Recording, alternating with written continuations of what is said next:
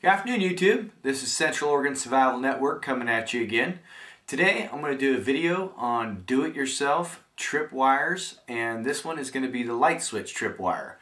So I'm going to jump right into it. I'm going to show you the tools that you need, the supplies that you need, and how to actually assemble this trip wire. Alright, here we okay, go. Okay, this is what I like to call a light switch trip wire. You might have seen it before somewhere. This is kind of my own variation, but this is what we're going to be assembling today. you might have seen it on my other video. And I'm going to show you everything that you need. Okay, first off, we're going to start with the tools that we need. Okay, again, I'm going with the cordless drill just because that's what I have. Of course, if you have a drill, a plug-in drill, that's going to work too. Um, I have a 9 64 bit, a 1 8 will work, and a 11 64 drill bit on the drill. You also need Phillips screwdriver, flat tip screwdriver, wire stripper, wire cutters, and you can have different variations of this of course, and you can get pretty cheap models at uh, Harbor Freight or other places. And this is uh, what I use for wire or uh, kind of wire crimpers for your connectors. Um, you might have a stripper wire cutter with this built in. I actually have just a different set, makes it a little bit easier. And a hot glue gun. Okay, that's all you need for the tools to assemble this. So now we're going to go into what you need for as far as supplies. Okay, I'm going to start with now this is an electrical switch or plug box. There's many different variations. As you can see on this one, it's a short version, or it's a so that if you don't have a deep wall, uh, this is kind of just a short box. This is a little bit taller box. There's even taller boxes than this. Um, I just grabbed this. It was 89 cents, pretty cheap. A switch, just a regular old light switch. Okay. Your switch plate. You know, if you want, you can get one, I call it the butt-end connector for your wires. A little fork connector, two of those for your wires. You don't have to though. You can just use electrical tape. You don't have to worry about those connectors. 9 volt with your 9 volt connector snaps on there. You get that at Radio Shack, eBay, a lot of different places, electrical stores online. Sometimes you might need just a small chunk of wire. This one probably won't.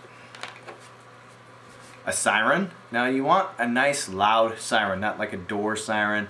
You want an actual siren. Now these uh, the Piezios, this is actually a siren. It's very loud, about 80 decibels, 90 decibels. Now this is what's called a corner bracket.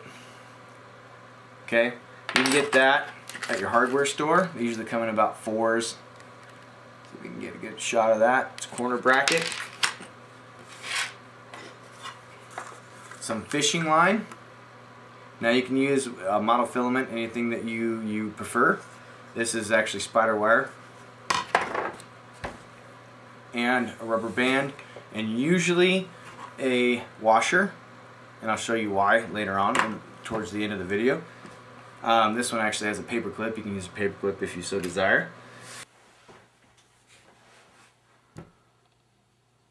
Okay, let's jump right into it.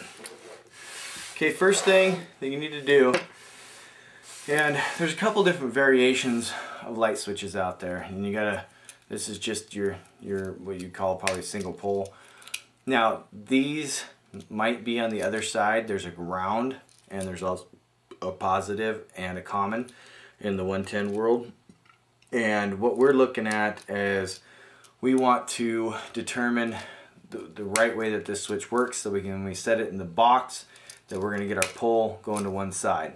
Okay, so the way to do that, the easiest way to do that, and and you could do it by looking at it, but you know the best way to do it is just to test it. Be sure before you start drilling and and putting everything together, then you won't be disappointed in the end when it's going the wrong way and then you got to rewire it and it's not much fun. Okay, so go ahead and take, what you're going to do is you're going to take your 9 volt and your siren, hook your negatives together, that's the black wires. You're going to take your red positives. The switch is off right now. Okay? What you're going to do is you're going to take on those two, you're going to take and go ahead and touch both sides. Make sure you got a good connection. Okay, we got no siren. Okay, go ahead and flip your switch, touch them again. Okay, so now you know you have the siren. Okay, pretty simple. Now make sure you turn that off. Put that siren and your battery to the side. Okay, so now we know that we're going to set this inside our box this direction, put our siren on this side, and we're going to put our brace on this side, but basically we call it kind of a string guide, I guess you can what you could say. So next step is you're going to take your switch face. You're just going to go ahead and put it on there. Now I've pre-drilled a couple holes in this, and I'm going to tell you why here in a minute. Okay, but put this on here, and this is how you're going to pre-drill one of your holes. Okay, so what you're going to do is you're going to remove You've got two screws on each side. One here, one here. Go ahead and remove this one, which this will be in the off position, so you're going to remove this side. Put your switch cover on, just like this. You're going to flip it over, and right in here, you're going to drill a hole. I've already drilled, drilled through already, because, you know, kind of moving this when you're trying to do a video is not the easiest thing in the world. So you're going to take your drill, you're going to drill a hole right in there with your 9 964th bit or 8 in, 1 and 8th inch bit. Drill a hole. Okay? And what you can do if you want, which makes it kind of easier, is you can take so it holds it all together, put your switch plate screws in, screw those down so it holds that plate flush while you drill that hole right here. Okay? So once that hole's drilled, take your screws out. You can go and take your switch plate out. I kind of like visualizing. So right now, this is in the off position. So this is where this bracket is going to go. Okay? Now, on this side is where your siren's going to go. So you have to determine, now depending on the switch, this switch, it's going to be on this side. Now, there's also switches that has this, this type on this side. So what that means is when you put your siren on, it's going to dictate if it goes on this way or if it goes on this way. Now what that means is are you going to drill the hole here, which matches where your hookup is, or are you going to drill it on this side if you have the hookups on this side.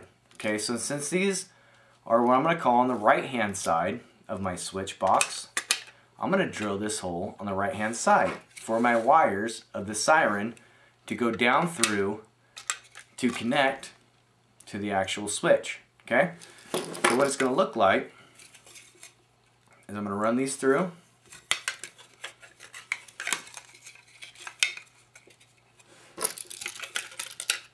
Switch in here. Okay. So, let's see if I can turn that so you can see it. So basically, you're to run down to that switch. Down to, I'm sorry, through the switch plate, down to the switch. Okay? Just like that. That's why we drill the holes in the plate. Now, when you drill this, be careful. Because this is like a really hard plastic, and if you put too much pressure, you'll shatter this plate. You'll actually break right through it. Okay, so when you're drilling it, take your time, go slow, drill, drill, get through it, and then it should hold together. You can actually tell, if you can see that, how it kind of breaks apart. It's a really, really hard plastic, you know, cheap, whatnot, but it'll work, okay? Okay, next step is what we're gonna do is we're actually gonna, like just like I said, we're gonna put that siren on the plate. Okay, so put your wires down through. Now this is where your hot glue gun comes in. This is just hot glued on, which actually works really well. So I'm gonna go ahead and apply the hot glue to the bottom of the siren and stick it to the plate. And make sure that you don't move it too far over to get your switch through that hole. Okay?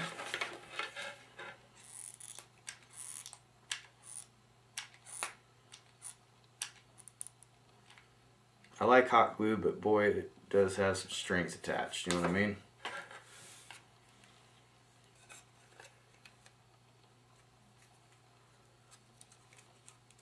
No pun intended. And it's really hot, so watch your fingers.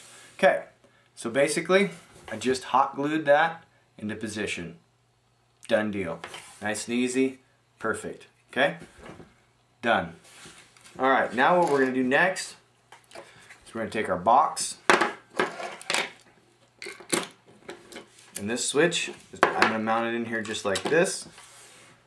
Okay, so my switch goes this way. Now, this screw is going to be tightened into your box and this screw will actually hold your plate down. You'll see how that works in here just a second. Okay, now what you want to do also is before you tighten this down into your box, you're going to want to wire it real quick. It makes it easier to do that. Now, I'm going to go ahead and kind of do a freeze frame because it's going to take a second. I'm actually going to put all the connectors on here and show you, but I'm not going to make you watch it because it takes a second. Or you can actually take and not use the butt connectors and just use electrical tape. Twist your wires like we did earlier. Use your electrical tape and put it together. But you don't have to do that in this situation, okay? I've got butt connectors. If you've got those too, you can use those. I just use those because I have them available. Now as you okay? can see, what I've done is I've actually taken the black to black off of your battery to your siren, attach it together, take your red leads from your siren and from your battery and attach it and it doesn't make a difference which side because once the switch is thrown makes the contact puts power to your siren bam good to go okay? So I'm to take and switch this battery out real quick to a new one. I'll probably leave it together. Okay so what you're going to do now you're going to take you're to drop your battery in. Make sure you got this going the right direction again okay? So I always have it going to my right side as you're watching it's probably your left okay so what I'm gonna do is I'm gonna drop it in and I'm gonna tighten this one down this is where either you can use your your Phillips or in this case I'm gonna use my I actually have a drill cordless make it go a little faster for the video Okay, you want to make sure that you keep it aligned. And we'll do this by hand, sensitive.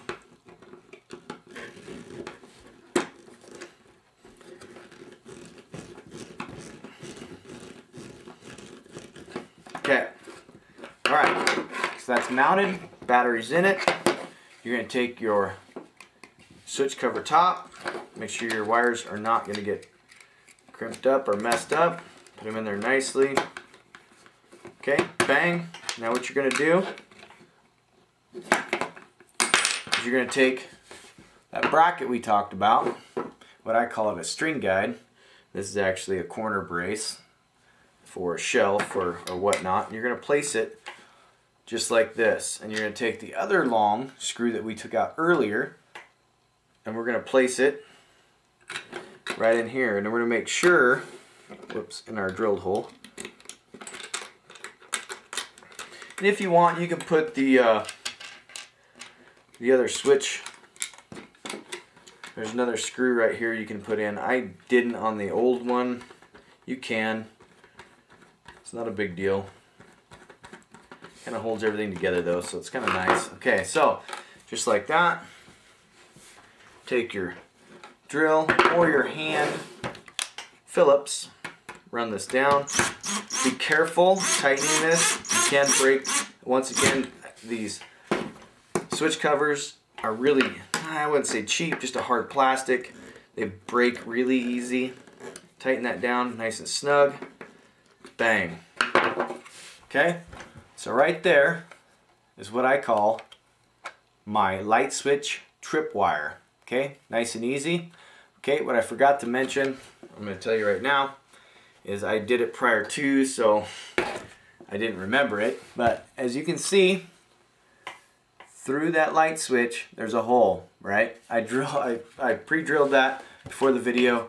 It's not a pain, I just wanted to do it and get it out of the way. So basically you take your drill real carefully, you're gonna drill a hole into that. Now, word of advice on some of these cheaper light switches, uh, they're not solid, so go in one side, go in the other side, and it'll actually create a nice little hole because sometimes if you try to go all the way through, it'll throw your hole off, you'll bust the switch, and it'll just make you mad. Okay, so when you're going into it, if your drill bit stops and gets caught up, it's because the inside is hollow and they actually have just a piece of plastic in there that's catching your drill bit.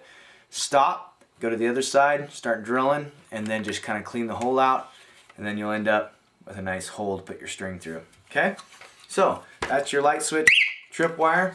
Very, very loud, works effectively. Now, I'm going to go over on this one instead of tying the string off to that one, doing it all over again. Now, the, the reason for the rubber band, and this string can actually be a little looser, reason for the rubber band is to keep your tripwire tight. Okay, this, this wire that goes to your switch that's also off of your washer can be a little bit looser than this one is right here. And the reason being is so the, the rubber band keeps this taut, you're actually tripwire tight, so when it trips, okay, it's nice and easy. And that's you, you don't have to use the rubber band. I put it in there so it just keeps my tripwire nice and tight. Because sometimes when you tie it to your switch and you try to tie off into something else and you get it nice and tight, it keeps flipping that switch, keeps flipping that switch, and it kind of really irritates you, kind of pisses you off if you ever messed around with any type of trip wires. So, and you can get black ones if you want to get all tactical, these rubber bands and stuff. You know, of course, I painted this, make it look, you know, of course, sexy. You know, you got to have it make it look cool. Okay. But anyway, so that is the light switch tripwire and you can build that for about 11 bucks. If you have any questions, any comments, if I went too fast, comment me. I do have a blueprint on a PowerPoint type format, so if you want, just go to my channel, email me, and I can send you a copy of that. Okay? Alright, thank you guys, and uh, I, I really appreciate all your support and your subscriptions. Please keep them coming. Thank you very much, and I will see you on the flip side. This is Central Oregon Survival Network. Have a great night.